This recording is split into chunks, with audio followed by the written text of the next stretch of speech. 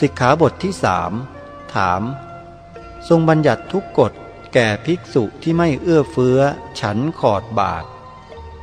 ในสิกขาบทที่สามนั้น มีหนึ่งพระบัญญัติ เกิดด้วยสมุดฐานหนึ่งสมุดฐานคือ เกิดทางกายกับจิตมิใช่เกิดทางวาจา